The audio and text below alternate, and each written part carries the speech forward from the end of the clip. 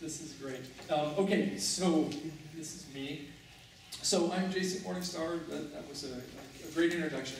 Uh, I'm going to be talking about my experiences designing LARPy tabletop games and tabletop LARPs uh, with ideas for further polluting both ends of the spectrum.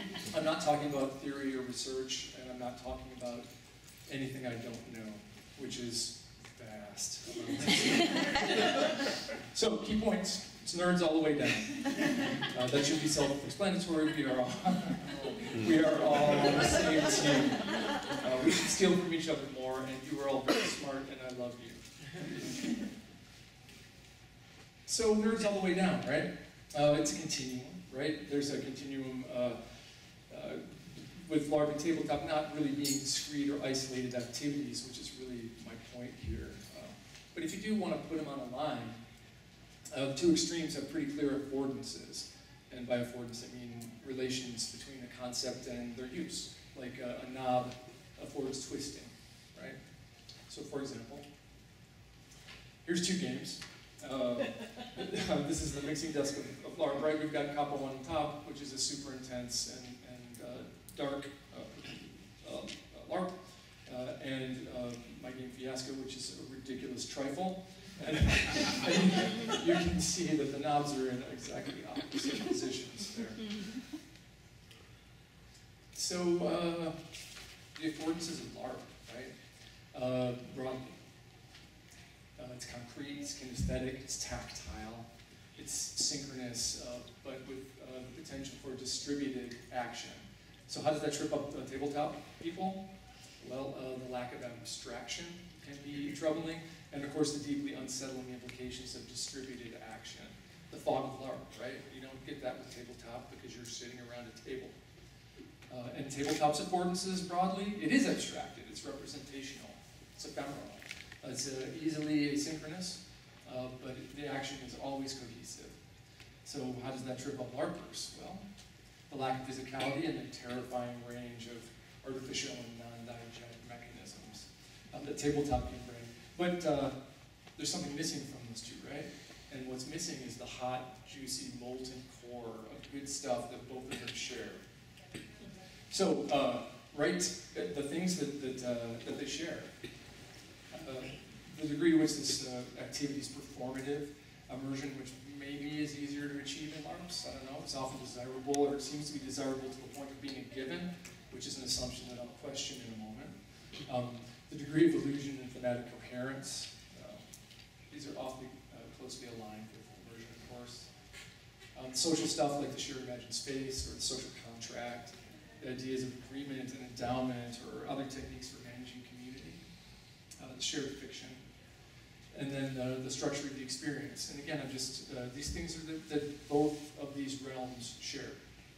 Uh, uh the, the, the, twin poles of ephemerality and repeatability, uh, the idea of scenography, whether that's physical or, or otherwise, um, uh, the intensity of the experience. This is all super good stuff and things that both forms share quite capably. I'm going to talk about some of my games and, and ways in which I flip the script. Uh, so I, I, uh, I, make tabletop games and I make uh, short uh, free-form LARPs, usually for uh, half a dozen or so participants, designed uh, typically without a game master and typically for play in under four hours. So what happens when you design a tabletop game that embraces something kinesthetic and tactile? in, in my case, uh, when I questioned that assumption uh, and thought about it, the result was Carolina Death Crawl, uh, which is a game where when your character dies, and your character will die, um, you, you enter a LARP-like state. You become a swamp ghost. And uh, the other players who are still sort of seated around the table uh, get to be visited by you in a very visceral way because you're a swamp ghost and you're going to fuck their shit up. Um, uh, so what happens when uh, you make a LARP asynchronous, when, when you have uh, multiple groups of players in different, different spaces forming time passes at different rates within the fiction. Uh, for me, that became a game called Maroons, uh, where one group of players are space explorers and one group of uh, players are uh, a family that's been marooned on a, on a planet that the space explorers are eventually going to visit. But uh, much of the game happens with those two groups apart, and they're only together for 30 minutes uh, within that. Um, and I should, I should hasten to add that I don't know that I'm doing anything new here. I'm just giving examples of things. I'm sure that you can cite examples of all this as innovation from, I don't know, the late 70s. You know, so, so, you know, what happens when you distribute the action in a tabletop game? Maybe you end up with a combination tape, LARP, and board game, like my game Sarai, which would be played, or is played in a conference room like this, uh, where the, the tape LARP piece of it is a map of the city, and the, the uh, board game pieces that you're physically moving things around within that space, but you're also LARPing at the same time. You're playing a character, you're negotiating, you're forming committees, and things are happening.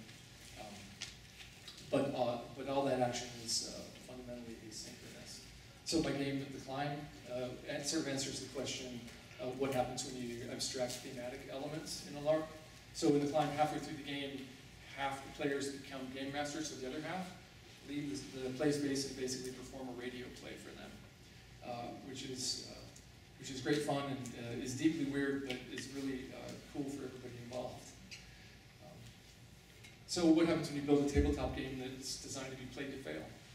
I don't know. Uh, it, it, I made a game that the, point of which is to be really dumb and get into trouble and not get what you want.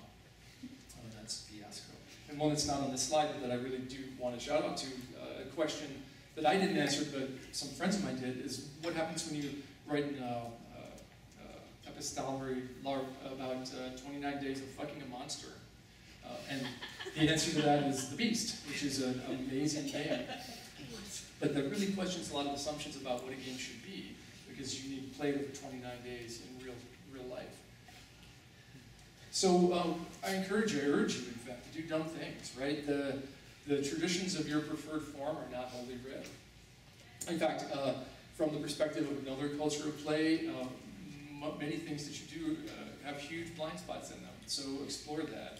Uh, if, if there's another culture play that you're uncomfortable with, go wallow in it and see what, uh, see what they're all about because they'll maybe show you some of those blind spots. An assumption in your uh, particular uh, culture play uh, is a, that you question becomes a design constraint, right, that you can use. And uh, that's, a lot of my games are predicated on that. I, I question an assumption and then a whole, uh, a series of constraints come out of that which really prompted me to create something new. And honestly, it's pretty hard to fail because that, that chewy, molten middle core goodness that, uh, that, that all the stuff that everybody in this room loves to do shares is where all the interesting stuff happens. So by changing that around a little bit, uh, you're not gonna you're not gonna fail by default. You'll fail because you worked hard at it. So, attention cape wearing freaks. Uh, I'm going to talk about poaching from tabletop games for a second here. Right? So here's some ideas. Uh, if you're a LARP, right, you're a LARP designer, maybe consider ditching the game master. Uh, do you need it? Do you need that role? Can that role be distributed? Uh, and, uh, and, can uh, players facilitate for themselves? The answer is yes. Um, but that's something to think about anyway. Not always, but sometimes. Um, rethink immersion, right? Immersion is often holy writ. That's a, a, a goal to be, uh, to be sought after. Maybe deprioritize that and see what happens. Embrace randomness, useful abstraction, make play asynchronous or episodic. I'm not entirely sure how to do that, but I bet you can. Think about uh, non-diegetic play aids. I often, uh, many of my games that are more LARPy and less tabletopy still will leverage the really nice affordances of things like uh, cards. You can, uh, you can use uh, playing cards in ways that uh, will be directly beneficial even in a, in a context. But so, so right, so cape wearing freaks, there's some ideas. Okay, basement mowing malcontents. Let's see if I got anything for you guys. Uh, you know, make your players stand up and move around. It's not kill them. their arms. It will be deeply uncomfortable the first time. Make it happen. Uh, get weird, you know, right? Require ritual. Require tactile objects as part of the tabletop experience. Uh, throw away your dice, get rid of randomness, learn to love thoughtful meta. Uh, make things happen simultaneously in different places. I'm not exactly sure how to do that, but I bet you can figure it out. Um, that's something LARP's awesome at, and tabletop never does, and doesn't even think about. Right? Or uh, make your game last 24 hours, or make your game last 29 days, like Beast. That's uh, that's something that you can do. You have that freedom, and it's an assumption you can question. So, uh, to conclude, uh, this whole talk is just about questioning your assumptions. I, I think that the, the forms that we design in can feed off each other, and that uh, there's there are, there's lots of meat on those bones to pick. Um, thinking think about the affordances of, of what you're doing, right? Think about the affordances of uh, tabletop or LARP. And, and final conclusion, I really do love you all.